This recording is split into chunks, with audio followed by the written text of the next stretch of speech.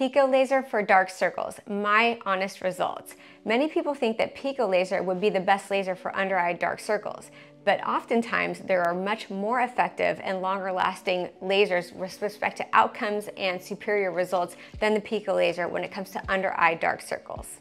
Hi my beauties, my name is Dr. Stefani Kappel and I provide non-sponsored content, so please share this channel and subscribe if you want non-sponsored content by a dermatologist who just wants you to be able to make informed decisions that are not influenced by marketing or big pharma or other companies and just straight from the source of someone who spent 25 years studying the skin under the microscope and just want you to have the best skin of your life of every age. Watching this video, you'll understand the Pico laser and how it might not be the best option for under eye discoloration or under eye dark circles.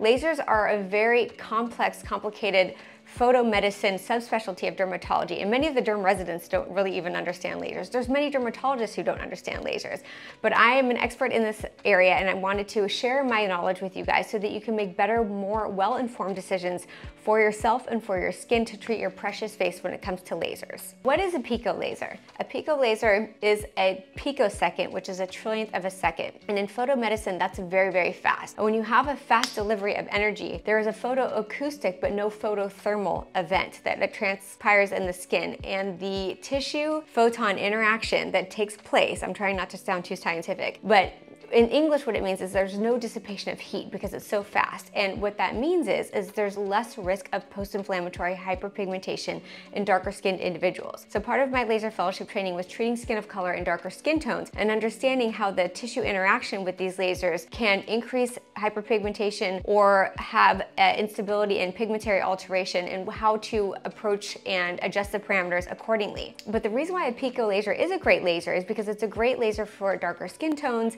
There's no photoacoustic, or there is a photoacoustic and no photothermal event that happens in the skin, so it's less risky for post-inflammatory hyperpigmentation. I love it for brown spots, for solar lentigines, for melasma, um, for evening out pigmentation, but for under eyes, there's usually a better laser, and you would be surprised. The reason why Pico is not my favorite laser for treating under eye hyperpigmentation is because we get better results with other lasers, which I can talk about in other videos, but usually a 1927 nanometer handpiece on like the Fraxel or a Clear and Brilliant does a lot better long term than a pico laser. Sometimes because that tissue is so thin and delicate and because that's such a fast delivery of heat and energy into the skin, there can be a bruising effect that happens and it can cause a hemosiderin deposition in the skin. Now hemosiderin is iron and so what happens is you treat the melanin, the hyperpigmentation with a laser, then you get this iron deposition under the skin and it makes the under eyes look darker or worse. So you're exchanging uh, one type of pigment for another. You're treating the melanin, but now you're having iron deposition in the skin.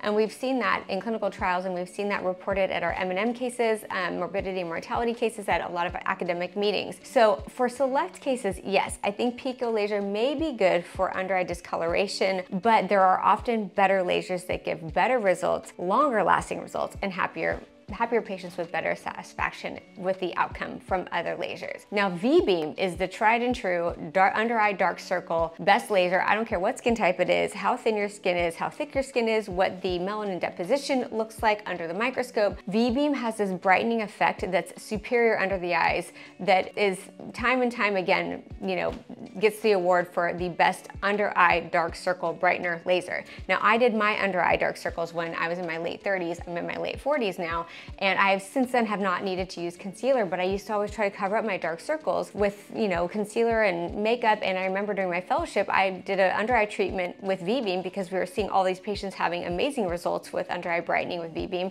I did it to myself, three treatments spaced one month apart, and I've had never had to do it since. So the reason why V-Beam works is because it treats the underlying vasculature, which can give that kind of purple darkish hue under the eyes, whereas Pico is treating melanin. Now there's three main reasons why people have dark circles under the eyes. It could be melanin, which is usually her hereditary or genetic and has to do with their skin type. It can be from the underlying vasculature, which gives this like dusky blue, gray, purple kind of hue under the eyes. It can make us look sick or tired or old. Or it could be volume loss. Sometimes with volume loss, you have shadowing that happens under the eyes and it can make our eyes look sunken. And in that case, you have to restore the volume. And we could talk about that different modalities to restore volume in another video. But it's either pigment, which is melanin, underlying vasculature, you treat with V-beam, or it is volume loss in that, in that area. You have to, if that's the reason you have to restore the volume. Now, when it comes to treating melanin, you have several options. And when you look at the selective theory of photothermolysis, which in English means what laser wavelength is gonna target that chromophore, the target in the skin, what laser is going to be coherent in its wavelength to target that melanin, to make that melanin explode and go away and have your immune system come clean it up and just clean up your skin and have it brighter, fresher,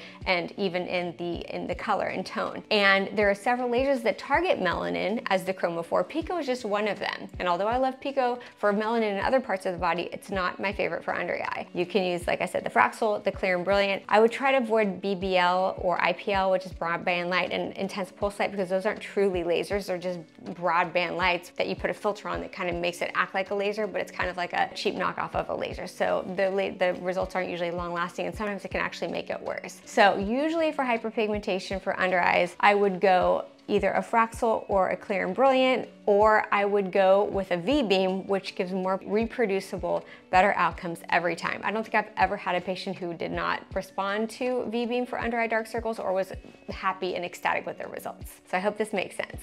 Pico is a great laser for other treatments, but when it comes to melanin, there are other lasers that are better for under eye hyperpigmentation treatment. In most cases, it's not even a hyperpigmentation issue. It is a underlying vasculature issue, even regardless of skin type, skin thickness, or age.